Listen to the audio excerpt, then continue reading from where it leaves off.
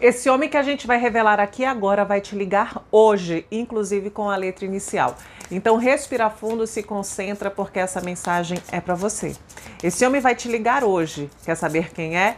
A espiritualidade te revela que hum, nossa, essa pessoa vai te ligar hoje e é uma surpresa para você, tá? A presença dessa pessoa. Você não estava contando com essa pessoa próxima a você nesse dia de hoje.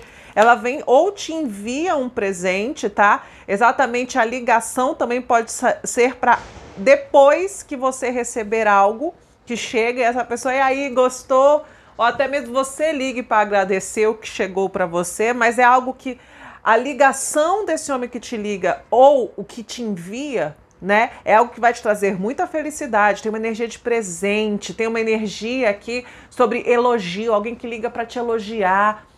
Uma visita agradável, sim, uma gentileza, algo que tem realmente um capricho da parte dessa pessoa. E algumas pessoas até recebendo, pode ser um kit, não sei, me vem aqui, não vou falar marcas, mas sabe receber aquele perfume, aquele sabonete, entende? Fica aquele convite do quando eu te ver na, na próxima vez, eu quero te encontrar com esse cheiro para cheirar o teu cangote. Ah, meu amigo e minha amiga, letra inicial, lembrando que pode ser nome, sobrenome ou apelido, temos um Z, H, D, J, I, B e W.